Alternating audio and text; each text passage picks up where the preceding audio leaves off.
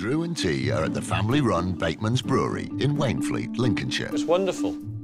Drew's made one small purchase. Yeah, OK, we'll do that. Yeah, we'll have that. Now he has his eye on these beer crates. But will Stuart be prepared to sell off part of the brewery heritage? So what, what do you reckon a piece, then? And I'll take all of them. Joking aside, I'd- I'd be reluctant to get rid of all of them. OK. I'd like to keep two or three. OK, all right, that's fine. Um, I mean, if you, if you want to make an offer on, say, a dozen, dozen of them, what do you think? Well, would a tenner each buy them? Um, you're hard man, aren't you? 15 inch would buy them, yes. 15 each would buy them, and if I can pick through them and take the good ones, and I'll take as many as I can. You keep, I'll find some good ones for you as well. OK, so long as I can be left with two or three good ones. With the names of the this one. Please, yes. Yeah, OK. Then we'll have a deal on that then. OK, thank you very much. Yeah, we'll take those. Cool, right, those are good. I like those. That was a good deal. But Drew isn't finished yet. He's just warming up. Just seen something else I like the look of, actually.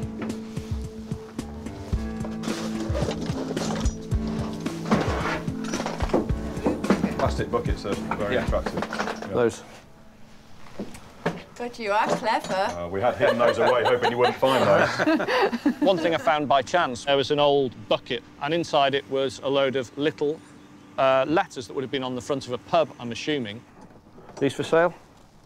Um, yeah, I think so, yeah. Yeah. They, they, if you lay the letters out, it actually reads, I'm very expensive. Oh, really? I'll put that back then. no, not very expensive, just expensive. OK. These phosphor bronze letters were made in the 1960s to decorate pub exteriors. Stripped and polished, they could be valued at £50 each. These are something we buy thousands of a year whenever we can get them from old sign writers and demolition yards. I know what I can get again for them, so I know what I can spend. Have you got any more? Six, 16. Um, uh, 16, um, 50 pounds for that pile of Um, letters. any idea how old they are? These are probably from the 70s. We're not going to use them. are No. All right. we? No, that's, yeah, that's fine. Yeah, I'll happy with on that? Yeah, that's fine. Tar, thank you. Deal, we'll have those. Don't know what it says. Horse and hound, probably. Horse and- yeah, probably. Is there anywhere else we can see? Yeah, there's a loft we can go and have a look at. Yeah, There's some old okay. furniture. Yeah, yeah, please. Oh, okay. Stuart takes them across the way to another storage area above the offices. After you.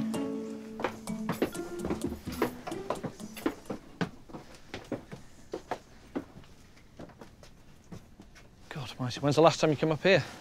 Um, half an hour before you came.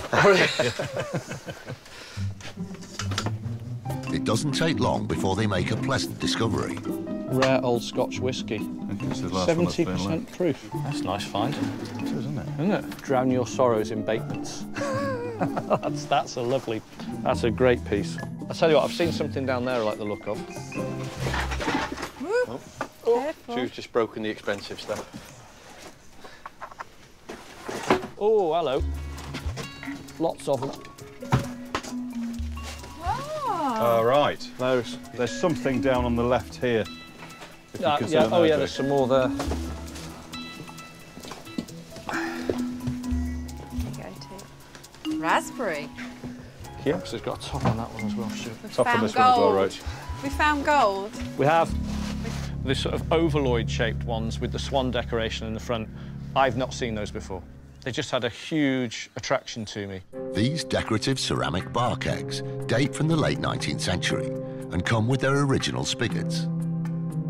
They would have been mounted on the back bar of a pub to dispense drinks. They could fetch up to £300 each. Is this something you did uh, you'd consider selling? Um, when my mother did at the sample room, she did use all of these as decoration. This is being really honest with Yeah, you. yeah. Those I've not seen before. Right. I've had lots of these. These are common. Any antique fair you go to, you're going to find those. Yeah. Those aren't. They're more valuable. Yeah. To be honest with you, Drew, I think however much you offered, Mm. I would feel so guilty I think if I I see actually got rid up. Everything else we've looked at it doesn't Yeah. have sentimental value. Okay. There is sentimental value here, and I know my mother would be absolutely bloody livid with me, which Fair she was most of the time anyway. This happens a lot. I found something I absolutely love. I can make a profit on it. They're rare, they're interesting. You don't see a lot of them around. They're fresh to the market. And you bring them out, and there's an emotional attachment. If I was being hard-nosed, I'd push and say, well, I'll tell you what, I'll give you a thousand quid for the lot. But I won't do that. I did something I rarely do. He had emotional attachment, and I carried on pushing, because I just thought, "Do you know, I really like them. What, what, what could you absolutely go to? Thousand quid. Thousand pound for the lot. I, I'd, I would just. It's, it's part of Bateman's brewery heritage. It's something that my mother was fond of, and it would be wrong of me. They don't really belong to me, they belong to my mother. God bless her, so I think it's the wrong thing to do to actually sell them. All right, okay, I'll, fine, I'll, we'll, we'll, begrudgingly, I'll walk away. They're, they're, they're yours, and I don't blame you. Okay, thank All you. right, no problems. When it comes down to it, I have to respect his wishes. So it's a few quid for me, but it's a whole family thing for him. I think there's such a huge heritage here at the brewery that maybe it's the right thing for them to stay here. I mean, I'm just going to sell them. You know, it's merciless, my business. I'm just going to sell them. But maybe they could be here for another hundred years.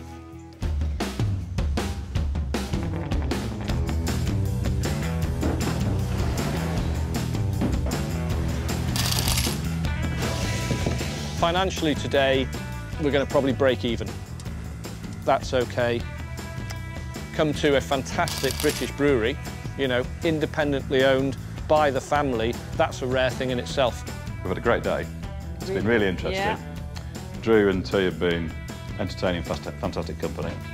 He went for things that I didn't think he would go for, and there were other things that I thought he would jump at that he wasn't interested in. Yeah, so, I thought there'd be a few more things Yeah. that he would have. but he found knows his game a lot more than, Yeah. than we do. Right, great, thank you guys. Lovely Thank to meet you. you. all. Thank you so much. Bye guys. See you. Nice to see you. Bye bye. Well, there you go. What do you think of that? That was great. So, um, in the olden days, too, people were paid with beer. Really? It's good, that isn't it? What do you think? Well, it was good, yeah. Good idea. I'm a bit worried about this, the way this well, conversation you know, is going. obviously it's not been such a good day. So really, I can't really pay you for today because you haven't done anything.